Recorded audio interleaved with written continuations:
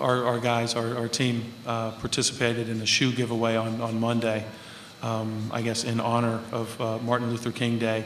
Um, and, and we uh, went down to the Central Union Mission, mission in, in D.C.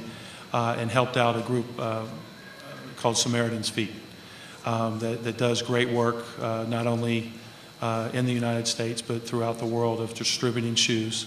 Um, I, I think to this point, the, the numbers that I've seen, they've distributed over 3 million shoes um, uh, worldwide.